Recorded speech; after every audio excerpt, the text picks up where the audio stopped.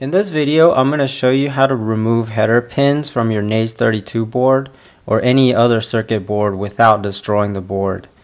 Um, as you can see, this is one of the boards that I destroyed before I learned how to do it the proper way.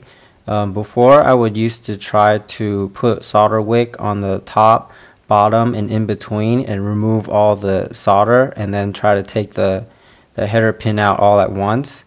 But what ends up usually happening is you end up uh, applying too much heat to these um, solder pins or the solder pads and it rips out the little the pad making the board pretty much useless.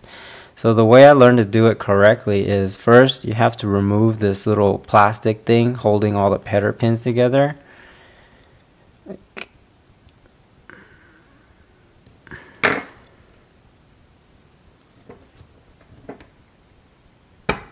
Like this and you put this to the side. And then now you can remove these uh, pins individually without um, remove without removing the solder. So what I have here is um, I have my Naze32 board on a little clamp like this.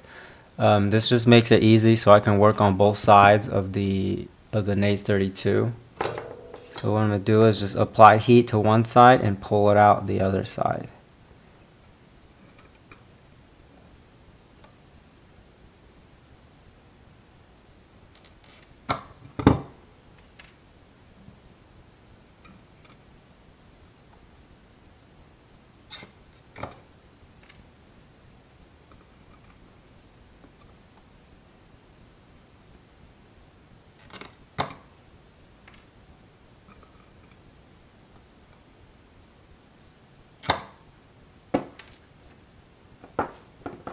Okay, so you can see after I removed all the pins, it didn't require a whole lot of heat um, to remove it.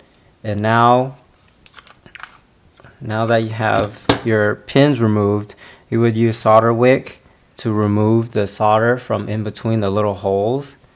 And then if you don't have a new header pin that you're going to use, you would just use solder wick to remove a little bit of the um, solder from the pins and then you just take your pins and you put them back into the little plastic holder.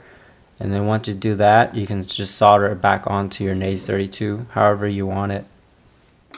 So next I'm just going to use solder wick to remove the solder from these holes. So I could put my uh, header pins back in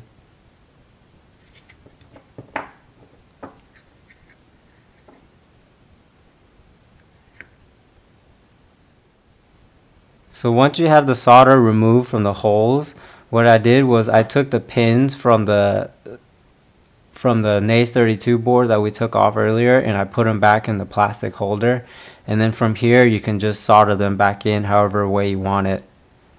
Yeah, so that's how you remove header pins from a Naze32 board without destroying it. Thanks for watching and don't don't forget to subscribe to my channel. Thanks.